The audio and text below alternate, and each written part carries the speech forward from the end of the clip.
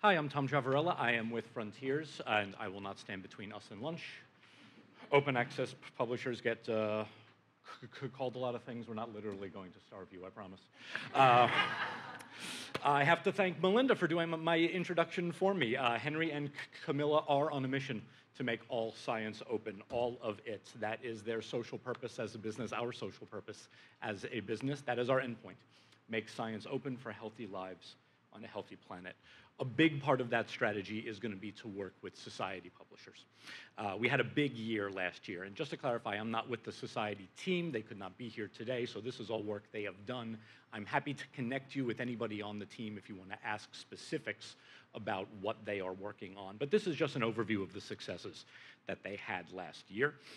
Uh, societies do amazing work, and we want to help them with that. We've been partnering with societies since 2019.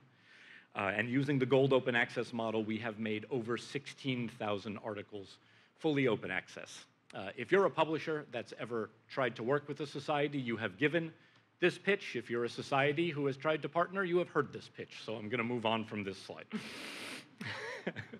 Big reason why people want to work with us, though, is that we are very technology forward. You know, we have a lot of platforms at a society's disposal that are going to help them change not just the publications themselves, but the look of the journal, the website, how it operates.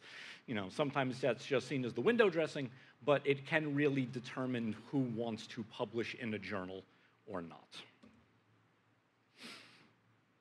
Uh, we, we know specifically, you know, the things that are going on inside of the societies.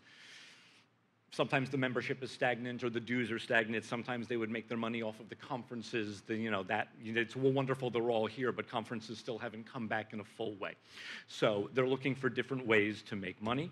Uh, the case study I'm here to present is from a journal in Hungary that we wanted to work with, and this is a quote from their editor-in-chief talking about that they were motivated, but they didn't want to grow too much. There was this concern that are, if we partner with you, are you going to make us grow too much?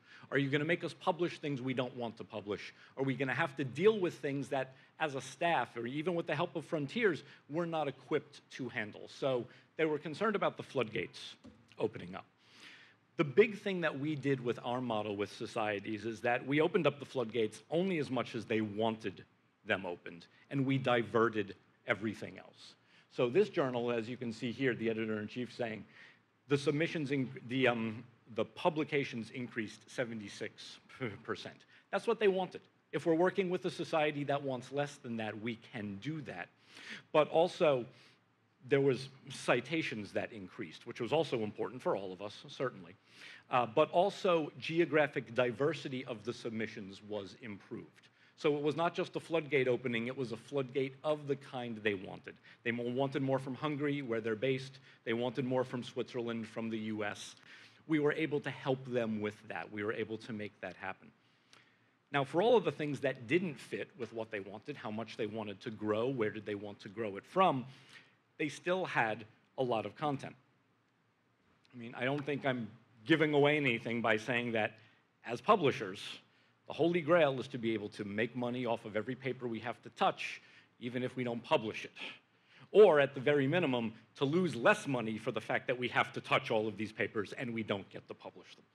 So, what we're doing with societies is creating a transfer portal where, using the society's flip to open, using the society's newfound interest and citation activity, and being known for being open, using that as a venue to get additional papers into other journals inside of Frontiers as well.